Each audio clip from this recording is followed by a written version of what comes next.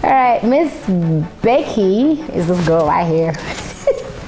um, Miss Becky is a fun-loving person, a mother of two, and I like I like progress.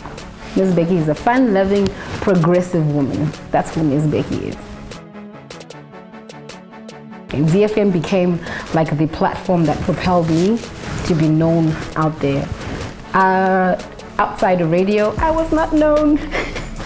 I was like, oh, that girl who did Miss Tourism. But then when I came on board uh, to, like, came on board on ZiFM, um, yeah, my voice was heard and people now wanted to know who is that Ndebele speaking girl and then the one with the deep voice as well. So it opened opportunities, like companies started looking for me, uh, agencies looked for me, um, big opportunities, doors is my need. ZiFM opened opportunities for me. There's this Will Smith dance, like even if you don't know how to dance, if you do the shoulder thing, you'll look like, yay, I know Tamba man. and then obviously the Vosho. I, I think the Vosho is just like a get down that went to high school type of thing. Because we've been doing Vosho since and we just didn't know it was called Vosho, I think my get down. And the jump and drop.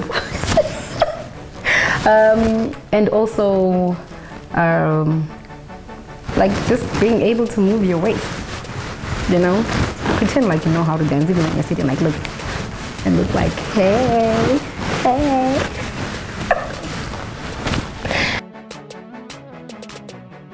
food, food. Me and food have a good relationship, hey? So I would probably, without a question mark there, any pasta dish, lasagna, bring it on. Spaghetti and meatballs, spaghetti and mince, as long as it's a, it's a, it's a, it's a pasta dish. If it's a chili, bring it on. Pasta dishes, and hmm, mm, yeah. No, yeah, I could, oh my gosh. Pasta anyone? My celebrity local crush is Miss Red. Why is it Miss Red? It's because she is so in tune with what's happening media-wise. Uh, she's so in tune with what's happening in the media world, entertainment. She's uh, well read.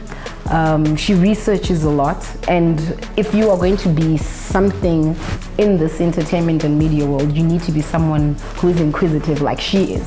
So, Miss Red. Money!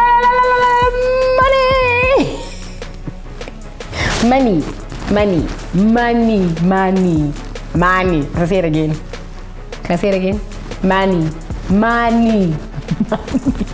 like if everybody had a fair share of um, going out and getting their dreams um, achieved and everybody wants to make money from whatever it is that they're dreaming about. So like it would make the world a better place because you wouldn't have people fighting for power and all of that. It's all because of money if we were striving to do um, like ideas, let's let's compete on ideas as opposed to competing for power. So if people had money, I think it would be okay. Like yeah, money and love, love, oh yeah, love.